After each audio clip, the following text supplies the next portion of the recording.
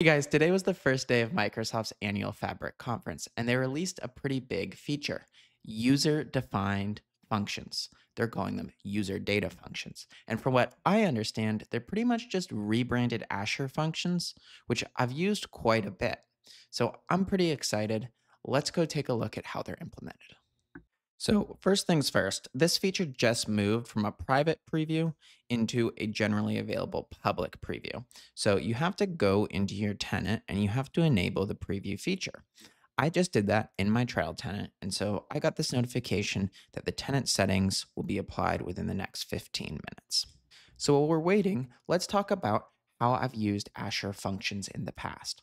Now, Azure functions are essentially like little servers. You can give them some C sharp code, you can give them some Python, and they can just take those inputs and produce an output. And they can do it consistently over and over and over again. Where I've used Azure functions super extensively in the past is essentially converting data to Excel and storing it on a SharePoint. Yes, you can do this with Power Automate. Yes, you can do this with Logic Apps but it gets real wonky with like the whole SharePoint is the file checked in or checked out kind of thing. And Python can do it a lot better just using the SharePoint API and then exporting from Pandas into essentially an Excel file. So, what I've done in the past is I've built an Azure function that I can essentially just give it a SQL query, it saves it as an Excel file in a SharePoint. Now, I just got back from dinner, and unfortunately, the user data functions feature isn't enabled on my personal tenant. Now, this might be because I'm using a Microsoft Fabric trial. It might be because I have something wonky in my tenant settings that I'm not catching, but I fiddled with it and I couldn't make it work. So, the, what I had planned for this video was giving you a quick little demo of how to write one, but I figured instead we could review the documentation so you could have a better understanding and then we can take a look at some of the other features that were released in the Microsoft Fabric conference today during all of the keynotes. Okay, so here we are in the documentation, and here you can see the user interface. As you can see, there's going to be a code window, and you can publish the function.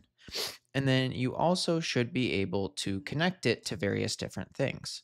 So the first thing you can do is you can connect it to a data source, right? So you can connect it to a um, anything that's part of the OneLake, right? The next piece is you can essentially call it with data pipelines.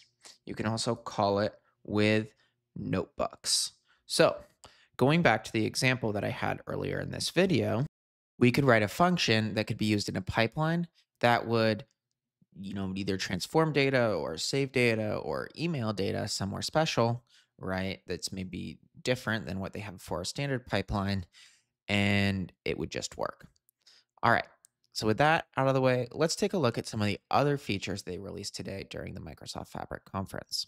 So here is their blog post where they're talking about everything they've released through the, the Fabric conference. The first thing they talked about is OneLake security. So that's defining security roles uh, with SQL, for example.